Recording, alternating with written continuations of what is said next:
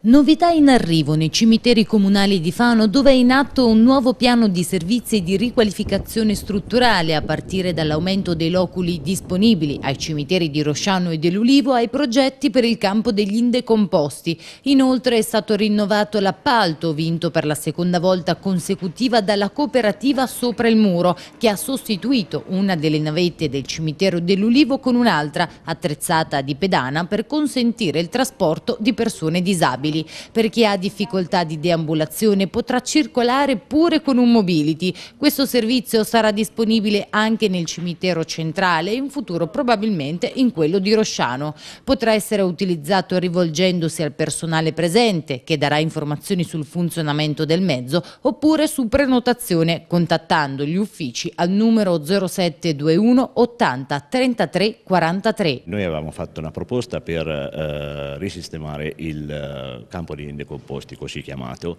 presso il cimitero dell'Ulivo.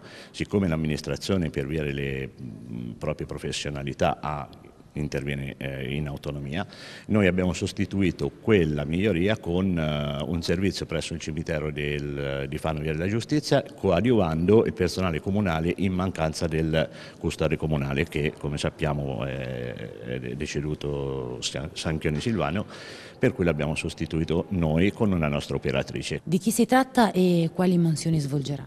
Allora si tratta di Barbara Misturi che attualmente è anche la capocantiere e svolgerà le funzioni di registrazione pianificazione, organizzazione del servizio, rapporti con l'utenza, informazioni in uh, assistenza a Rita Perugini che è la comunale, per cui insieme faranno lo stesso tutti i servizi che prima svolgeva il signor Sanchioni. Ad annunciare le migliorie in conferenza stampa è stata Marina Bargnesi poco prima del passaggio di delega con il neoassessore Cristian Fanesi. Un anno e mezzo fa ha detto abbiamo ereditato una struttura con molte lacune nonostante la professionalità dei dipendenti che poi hanno dimostrato fin da subito la volontà di collaborare e di ripartire da capo.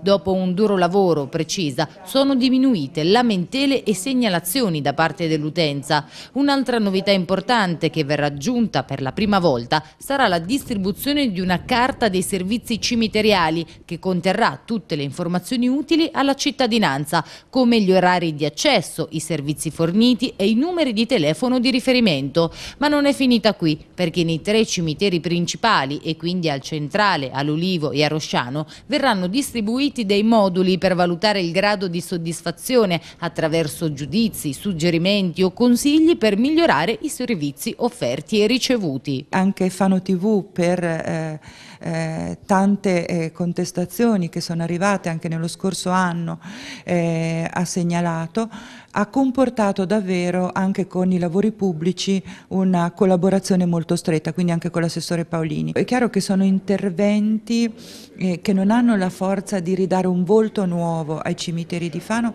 però sicuramente molto più decoroso e quindi io consegno oggi a Cristian Fanesi eh, questo lavoro, un lavoro importante eh, che si mh, esprime attraverso eh, delle importanti migliorie ma anche un una, eh, un, una, la volontà ecco, di poter tenere eh, tutto questo aspetto che è quello della cura, il culto dei morti, la sepoltura, la organizzazione di questo al centro dell'amministrazione e per questo eh, eh, sono contenta del lavoro fatto e, e sono convinta che Fanesi saprà portarlo avanti nel migliore dei modi.